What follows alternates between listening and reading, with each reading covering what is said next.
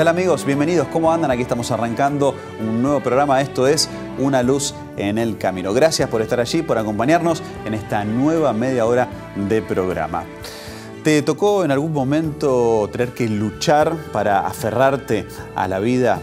Sin lugar a dudas habrán sido momentos difíciles, críticos, muy duros. Sin embargo, eh, es allí cuando nosotros nos damos cuenta que tenemos un impulso para aferrarnos a la vida. Ahora, ¿cómo hacer para que esto sea de manera cotidiana y tener una existencia más plena? Bueno, eh, obviamente hoy vamos a estar aquí en este programa Rodrigo compartiendo con todos ustedes algunas claves y por supuesto una entrevista que tendrá con Nora que nos contará su experiencia de vida acerca de cómo aferrarnos a la vida. Y por supuesto aquí en cada capítulo nosotros te proponemos un regalo, un material. Se trata de esta guía de lectura de la Biblia que es totalmente gratuita. Vos estás viendo allí de qué se trata. Más de 20 temas que sin lugar a dudas serán de mucha utilidad para fortalecer tu vida espiritual, para fortalecer tu vida emocional. Así que te invitamos a que nos escribas al 11 50 02 54 54. El material es totalmente gratis. Y ahora sí, entonces presentamos a quien es el orador de nuestro programa, el licenciado Rodrigo Arias. ¿Qué tal, Rodrigo? Muy bien, Ale. ¿Todo bien? Bien, bien, bien. Como siempre, me alegría saludarte y a todos nuestros amigos de Una Luz en el Camino. Así es. Bueno, hoy para tocar un tema interesante. Tenemos ¿eh? un programa muy intenso. Justamente se trata de aferrarse a la vida. Y ya te hago una pregunta, Ale. ¿Te gusta sacar fotos? Me gusta sacar fotos. ¿La fotografía? Sí, sí, sí. No soy fotógrafo, pero. Te he visto por ahí con alguna máquina despuntando el vicio.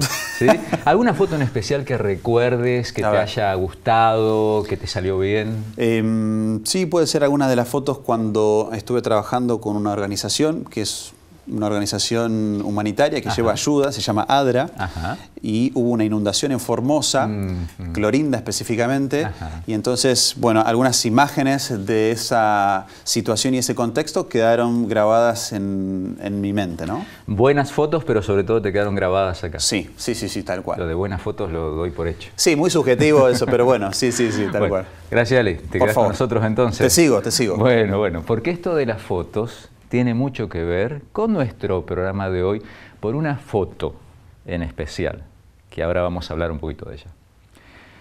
Eh, esta foto la estamos viendo, ¿sí? La vamos a ver. Eh, Alicia Atkins, 9 eh, de octubre del 2012.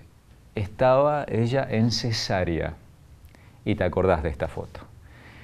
cuando el médico ya había hecho la incisión, sale la manito de su bebé, eh, llamada, entonces la llamaron Nevea, sale la manito de su bebé y se aferra del dedo del médico. Bueno, esta foto recorrió el mundo y todavía hoy, ya pasaron más de cinco años, eh, sigue emocionando. Es cierto, técnicamente, estamos hablando del el reflejo palmar normal de todos los bebés, que es agarrarse, y ahí la bebé estaba naciendo y se agarró del dedo del médico, que fue lo que encontró. Sin embargo, vamos un poquito más allá de lo simplemente técnico, el mensaje que tiene esta foto, ¿sí? el mensaje emocionante, el mensaje de vida que tiene esta foto. Aferrarse a la vida, ¿por qué? ¿Por qué aferrarse a la vida? ¿Por qué nos emociona de pronto si captamos el mensaje de esta bellísima foto? Porque la vida es un milagro y no nos vamos a cansar de decir esto. A ver, vamos a abrir una nota cortita ahora eh, de filosofía. ¿sí? Eh, una de las preguntas fundamentales de la filosofía, si no la más fundamental, es la que dice, ¿por qué hay algo cuando podría no haber nada? Claro, podríamos reaccionar este, como le pasa a mucha gente que no le agrada mucho la filosofía, hay que tener tiempo para hacerse esas preguntas, ¿sí? Este, no tenés nada que hacer, pero si pensamos un poquito realmente en esto, ¿por qué hay algo cuando podría no haber nada? Eh, esta es una cuestión, dicen algunos filósofos, no te hagas esta pregunta cuando te estés por acostar porque puede ser que esa noche te cueste dormir. Porque esto, bueno, realmente usando esa expresión nos puede romper la cabeza y nos lleva entonces al punto ¿Por qué estoy yo cuando podría no existir? Filósofos y científicos no se han podido poner de acuerdo en esto. Han ensayado distintas respuestas. No es posible llegar a una respuesta totalmente racional, acabada. ¿Y qué pasa cuando algo existe? O sea, no hay dudas, no hay dudas de que hay algo, de que estamos acá.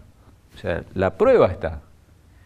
¿Qué pasa cuando algo es concreto, existe, pero no hay una explicación acabada de eso? Estamos ante la necesidad de reconocer que es un milagro. ¿Y qué haces con un milagro? Quiero que pienses un poquito. ¿Qué haces con un milagro? Un milagro lo agradeces, obviamente, lo valorás, por lo tanto lo cuidas y no te olvidas. Nuestra vida es un milagro, tu vida es un milagro. ¿La estás agradeciendo hoy? ¿La estás valorando? ¿La estás cuidando? ¿Estás teniendo conductas que te llevan a cuidar el milagro de la vida en tu salud, en tus hábitos? te estás valorando. Vamos ahora a escuchar en un momento una historia, vamos a presenciar una historia de vida que nos recuerda cómo todos necesitamos luchar para aferrarnos a la vida. Así es, Rodrigo, en instantes vamos a estar compartiendo con vos y con Nora esta entrevista, así que te invitamos a vos que te quedes allí del otro lado para acompañarnos en lo que queda del programa. Y te contamos también, bueno, si recién te estás enganchando al programa, tenemos un regalo para vos, un obsequio que para tenerlo tenés que comunicarte con nosotros al 11 50 02 54 54.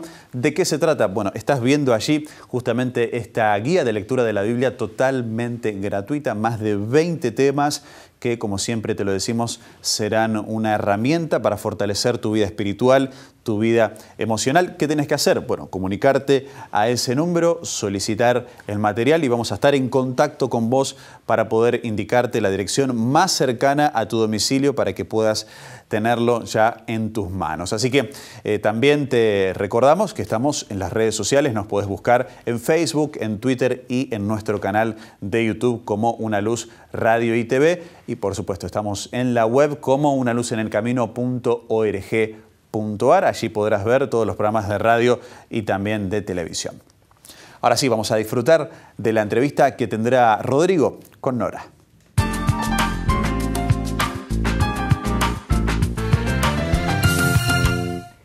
Y ya estamos en nuestro momento de entrevista, contentos de que nos esté visitando Nora. Bienvenida Nora, gracias por acompañarnos. Buenos días, muchas gracias. Gracias a ustedes por la invitación. Nora, el tema de hoy, aferrarse a la vida, puede ser una linda frase, pero a vos te dice muchísimo, muchísimo. Has sido y sos protagonista en una historia de aferrarse a la vida con uñas, dientes, con todas las fuerzas. Contanos cómo comenzó esta historia y con quién tiene que ver especialmente. Y bueno, la historia tiene que ver con mi nieto Patricio. Eh, bueno, Patricio es hijo de mi nuera. Eh, mi nuera lamentablemente falleció, tenía una enfermedad que se llamaba lupus, se llama lupus. Y bueno, empezó una historia muy dura, triste, porque ella tuvo a Patricio siete mesinos. Eh, nació prematuro, nació muy complicado, Era, estaba muy grave Patricio, tenía, nació con displasia broncopulmonar severa crónica. Y de ahí eh, falleció ella a los 19 días que Patricio, eh, Patricio nació. A los 19 días entonces del nacimiento del bebé, la mamá fallece, tu nuera. Sí, muere. Mm. Y bueno... Y Patricio entonces, el bebé complicadísimo de salud. Muy mal. Sí, cuando me mostraron al nene me dijeron que Patricio estaba muy mal, muy grave, que no sabían si iba a pasar la noche. Mm, Así mm. que bueno, lograron estabilizarlo a la noche y de ahí pasamos mucho tiempo en neo, hasta los seis meses, cosa que los bebés siempre se van Claro. En unos días. Seis meses en Neo. Seis meses hasta lograr la, mm, internación domiciliaria. Debíamos ah. conseguir eso.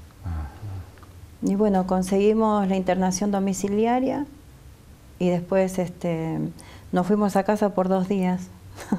Dos, o sea, esperando para ir a casa y dos días solamente. ¿Por, dos días solamente. Porque se complicó muchísimo en casa. Patricio se descompensó mucho, mm. este, no podía respirar. Eh, y bueno, nos fuimos al Garrahan, que era lo que nos había aconsejado en ese momento el médico que, fue a casa a verlo a Patricio. Estamos hablando del Hospital Garraham con toda su, infraestructura y su especialidad para estos casos, sí, ¿no? Nos recibieron ahí, nos recibieron este, muy asustados. La doctora Bauer del hospital nos dijo que era un caso extrañísimo porque Patricio tenía tanto tiraje que se le veían las costillitas, no podía respirar. Oh. No sabía cómo estaba respirando. Así que bueno, nos internaron, pasamos una noche muy fea, muy dura, y al otro día a la mañana, corridas, este, porque el niño se había se descompensó totalmente. Así que fue la primera vez que pasamos a terapia intensiva. Mm. Y de ahí empezó la lucha, varias veces. O sea que ahí recién empezó la lucha, entonces había sido durísimo todos esos meses, pero ahí empezó la gran lucha. La gran lucha, sí. De, bueno, estuve en terapia intensiva, varios paros respiratorios. Paros respiratorios. Sí, mm. nos llamaron, había que nosotros decíamos el teléfono de la muerte. En el hospital estábamos mm. en, en, la casa Ronald McDonald, así que sonaba ese teléfono y no ah, sabíamos a quién le tocaba y qué era la noticia. Así que, bueno, paros respiratorios, malas noticias, buenas noticias. En algún momento me, me comentaste, este, cuando estábamos charlando fuera de micrófonos, que em, llegó a ser el paciente más complicado del GARRA. Más grave.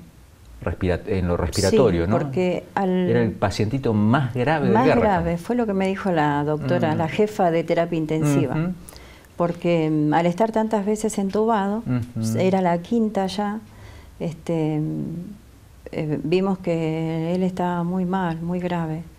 Entonces eh, nos fuimos a una reunión que nos dieron ellos para decirnos de que no había posibilidad de vida para Patricio. ¿Para eso cuánto tenía el bebé? Y ya tenía un año todo ese tiempo de lucha, para que finalmente les dijeran que ya no había posibilidad. Terapia, sala, mm. íbamos a terapia, volvíamos a sala, así por un año. Cumplió un año ahí en terapia intensiva. Estamos viendo algunas fotos de, Patricio y vamos a ver después algunas más. Y entonces en esa reunión les dijeron que no había más esperanzas. No, ahí me pasó algo. Porque en esa reunión teníamos que pasar por un pasillo al consultorio entonces había como un vidrio ahí en terapia intensiva, donde yo podía ver a todos los chicos, y en eso estaba Patricio. Y yo hice así y miré que algo pasaba en el box de él. Entonces cuando lo vi, Patricio estaba negro. Era una cosa inflada, mm. negra, eh, epoxia tenía. Y estaba luchando con los médicos porque se había cerrado un catéter, no sé qué, tenía catéter por todo el cuerpo. Entonces este, me dio mucha pena. Eh, me fui a la reunión donde teníamos con los jefes de terapia intensiva. Nos dijeron que Patricio lo habían intentado desentubar, pero no funcionó, porque el, pulmón se había acostumbrado a respirar con la máquina, entonces no hacía... Y bueno, que no sabían si le iban a hacer la, la, traqueotomía que nos habían prometido antes porque me decía que la traqueotomía no le iba a salvar la vida. Entonces, yo tenía esperanza en eso. Eh, le dije a los médicos, mire, doctora, le digo, este, ustedes pongan lo mejor de ustedes, en lo que saben hacer, su trabajo, que yo sabía que estaban bendecidos por Dios. Eh, nosotros somos una familia de fe, un matrimonio de fe. Patricio se aferra muchísimo a la vida, tiene muchas ganas de vivir. Y ustedes también mediante la fe. Y nosotros ponemos todo en las manos de Dios. Que se haga la voluntad de Dios y no la nuestra. Nora, ahora en, en unos momentos nos vas a contar entonces, porque de esto hace cuánto. Y ya hace siete años. ¿Qué pasó hasta el día de hoy con este pequeño luchador este, que les ha enseñado esta lección de aferrarse a la vida. Nos vas a contar en un momento, ¿puede ser? Sí. Ahora justamente la música para el alma dice, Dios, mi vida está en tus manos. Gracias a Rodolfo Vázquez por traernos esta canción.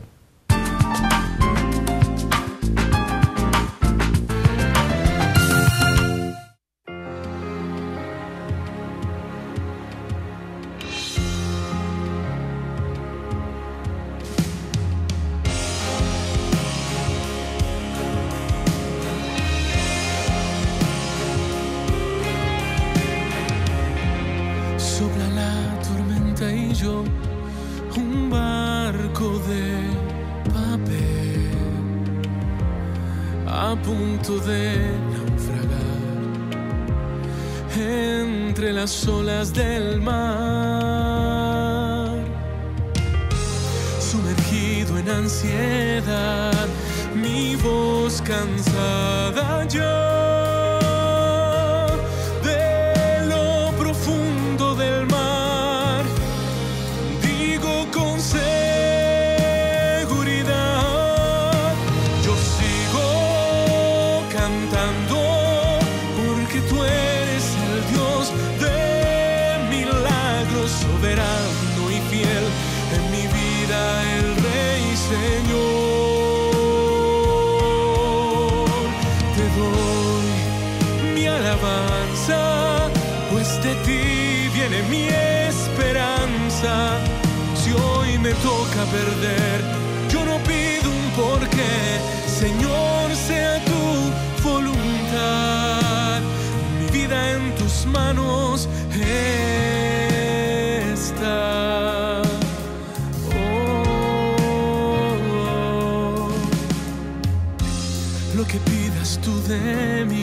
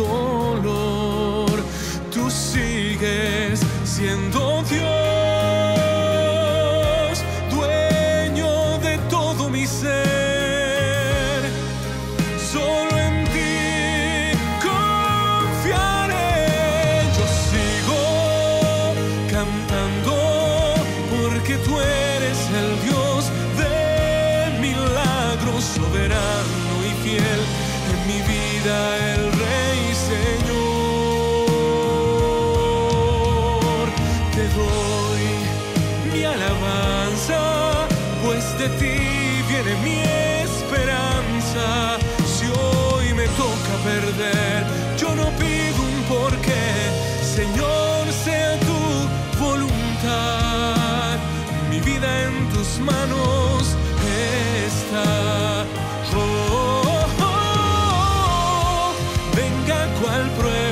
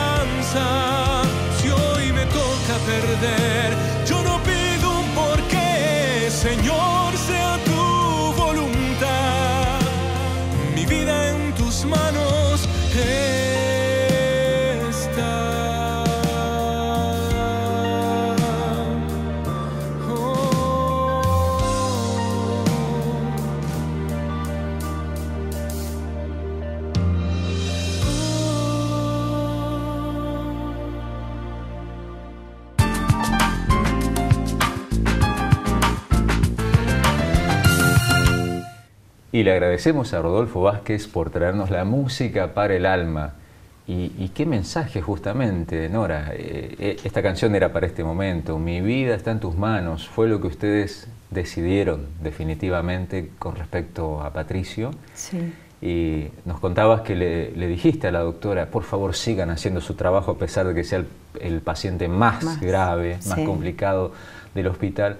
Nosotros vamos a hacer el nuestro desde la fe ¿Cómo fue ese trabajo desde la fe, Nora? Y empezamos a fortalecernos entre los papás. Eh, empezamos a reunirnos en un árbol, debajo de un árbol.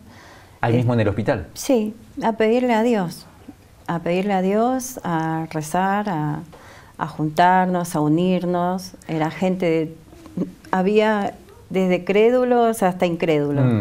este, pero bueno... O sea, personas que estaban ahí con sus hijos internados, con situaciones críticas, difíciles. Al límite, siempre al límite. Al límite. Sí, nos contabas recién tremendo lo del teléfono de la muerte, ¿no? Sí. Personas que estaban esperando esas noticias y ustedes se acercaron a ellos para darles ánimo, orar por ellos. Y, y sí, porque ya estábamos pasando por la misma situación Claro. de ellos, entonces empezamos a ayudarlos, empezamos a hablar con ellos, a invitarlos a orar, a rezar, no importaba Ujú. la denominación Ujú, ujú. en realidad. Y empezamos a ayudar a los papás que sentíamos que eso era lo que debíamos hacer, eh, a buscar comida, a buscarles un lugarcito donde se podían bañar, porque Ah. nosotros ya estábamos de hacía más de un año, sabíamos todo lo que Sa- estaba pasando bien, adentro. Bien, bien. Y eso alivianó muchísimo la carga. Qué, qué- qué interesante y qué hermoso, ¿no? Sí, Cuando dejamos las cosas en las manos de Dios, podemos eh, volcarnos hacia el prójimo y hacer la diferencia sí. en la vida de los demás. Y te veo con algo tan importante en las manos, que es la Biblia del programa, pero eh, en realidad está en tu corazón la Biblia porque seguramente nos contabas te dio muchas fuerzas para seguir adelante. Sí, porque mm, nos aferramos a la fe. Ajá. ¿no? Y acá en Salmos 23 dice, aunque ande en el valle sombrío de la muerte, no temeré mal alguno, porque tú estás conmigo, tu vara y tu callado me infunden aliento. Así que nos aferramos de la promesa de Dios, este, nos unimos con toda la gente para rezar, para orar, para pedirle a Dios, porque sabíamos que había un- alguien que nos estaba escuchando y nos estaba ayudando. Y que aunque estemos en el valle de la muerte, hay que aferrarse Hay a la que vida. aferrarse a y la Patricio vida. lo seguía haciendo, ¿no? Lo seguía ¿Y qué haciendo. pasó entonces con su recuperación? Y bueno, eh, le hicieron la traqueotomía, Finalmente le pudieron le hacer. pudieron hacer. Ante tantos malos pronósticos le pudieron hacer y él empezó a soltar el respirador de a poquito, de a poquito, de a poquito, teniendo siempre esa fe que... Algo muy interesante también, siempre estuvimos mirando fijos adelante y en la fe. Nunca miramos a los costados ni escuchamos a los médicos. Si bien es cierto lo escuchábamos, pero Sí. siempre teníamos mucha fe. Y me contabas también fuera de cámaras de, de una enfermera que te decía cómo lucha Patricio, se aferra a la vida. Y ella se preguntaba cada día si Patricio estaba ahí todavía. Sí, me decía, todo, a las mañanas cuando venimos miramos al box y vemos, decimos, ¿será que está Patricio? Estamos viendo algunas fotos de Patricio en este momento. Pero el milagro es tan grande eh, y la alegría es tan grande que no nos conformamos solamente con fotos. Ustedes no sé si alcanzaron a escuchar. A ver, lo tenemos a Patricio acá. Hola Patricio. bueno, está muy contento de acompañarnos. ¿Cómo está él hoy? Bien, gracias a Dios, bien. No, no, nunca más volvimos a terapia intensiva. Está haciendo todos los tratamientos, centro terapéutico, pero está excelente, como pueden ver. Gracias a Dios. Y sigue siendo un campeón Un que se aferra A la vida. A la vida. Gracias por traernos esta historia de vida. Muchas gracias a Porque ustedes. no solo él, sino ustedes se han aferrado a la vida que es Dios para que Dios pueda seguir dándole la vida a Patricio. Es que. Dios los siga acompañando a cada momento. Muchísimas gracias y muy amable. Y así estamos cerrando este momento tan especial de entrevista, con una alegría inmensa. Y ya en la parte final de nuestro programa cerramos con los momentos de oración.